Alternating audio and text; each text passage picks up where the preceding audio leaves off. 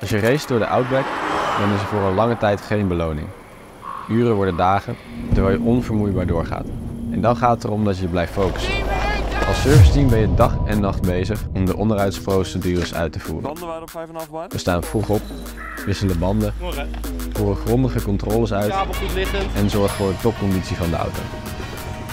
Want uiteindelijk is onze blik gericht op het ene doel.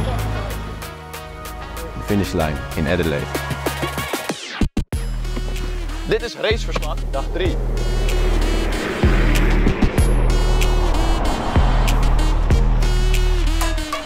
Na ongeveer 50 kilometer te hebben gereden, zijn we aangekomen bij de eerste controlestop van de dag, Alice Springs. Klein stukje.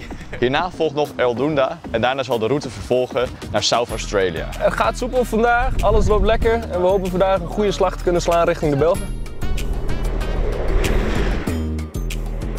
Als wij South Australia binnenrijden, wordt de maximumsnelheid van 130 naar 110 verlaagd. Dit betekent dus een grote verandering voor ons als crew om eromheen te rijden, maar ook voor het raceconvooi. We merken dat het snel ook wat koeler wordt. Dus de minimumtemperatuur van de afgelopen nachten zal vandaag de maximumtemperatuur zijn. Daarbij voelen we ook wat wind. Nadelig voor de zonneauto, maar iedereen heeft er last van. Dus we gaan het helemaal managen.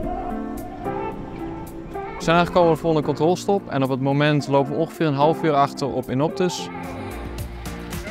We gaan natuurlijk hopelijk eh, de komende dagen erg in de want dat is natuurlijk ons doel voor deze race.